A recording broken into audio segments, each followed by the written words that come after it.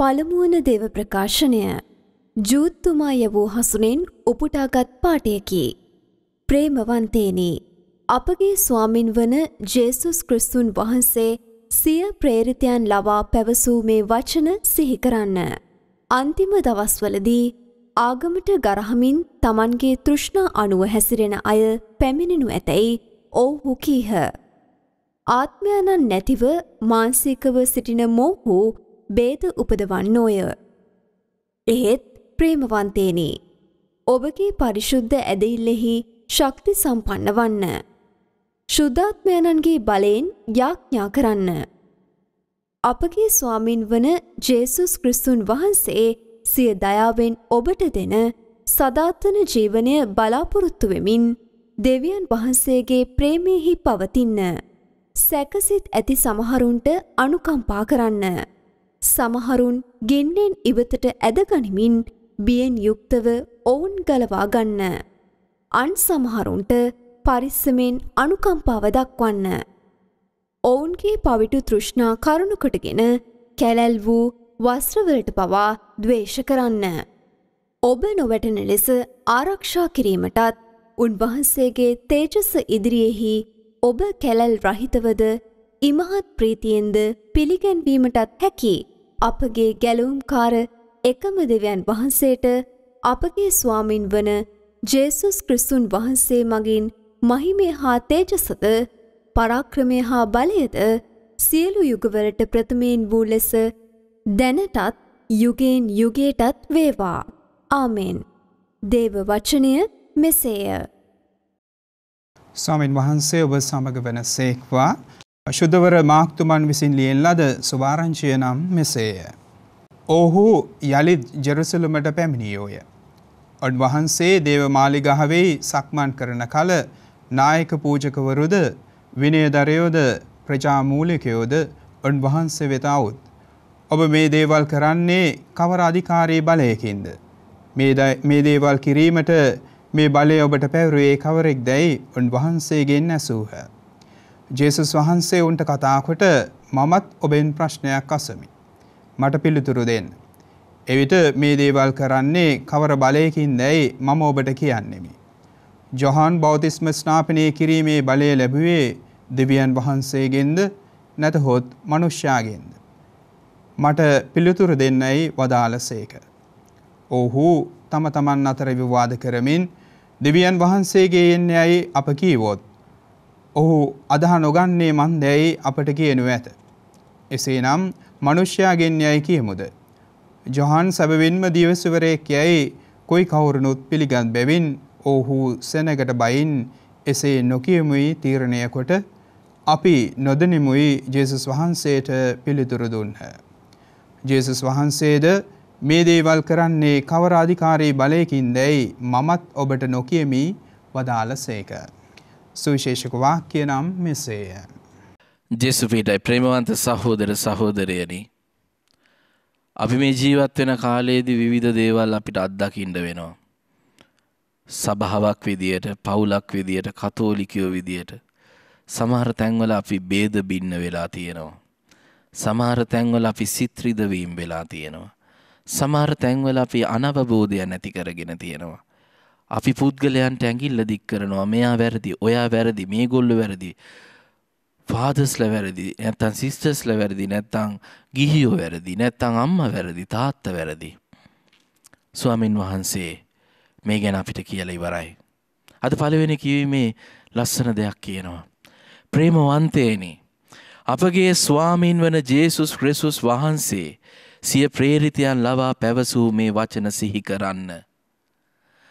අන්තිම දවස්වලදී ආගමට ගරහමින් තමන්ගේ තෘෂ්ණා අනුව හැසිරෙන අය පැමිණෙනු ඇතැයි ඔබහු කීහ. ආත්මයානන් නැතිව මාංසිකව සිටින මොවුහු බේද උපදවන්නෝය. ඇත්තට මේම උපද්දවන අහ එක්කද අපි ඉන්නේ. ඒ අත්දැකීම්වලද අපි ඉන්නේ. ඒ කාලයේද අපි ඉන්නේ. මේ වැත්තටම හිතල බලන්නට වෙලාව.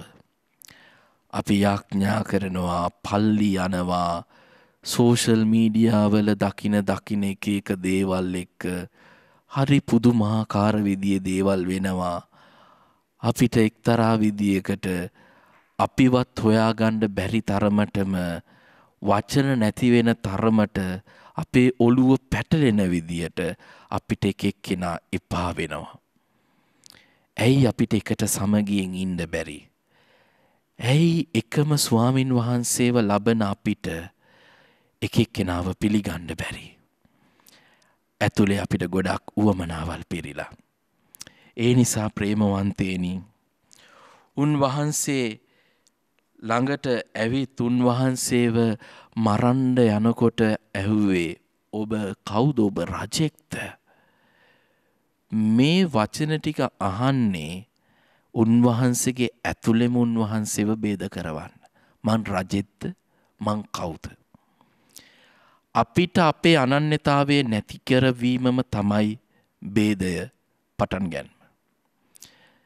පියතුමන්ල විදියට අපි අපිටත් ගිහියන් විදියට ඔබ ඔබටත්.